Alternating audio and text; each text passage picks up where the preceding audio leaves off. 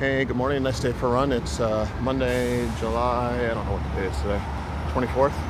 It's uh, 73 degrees in downtown Dallas, Texas.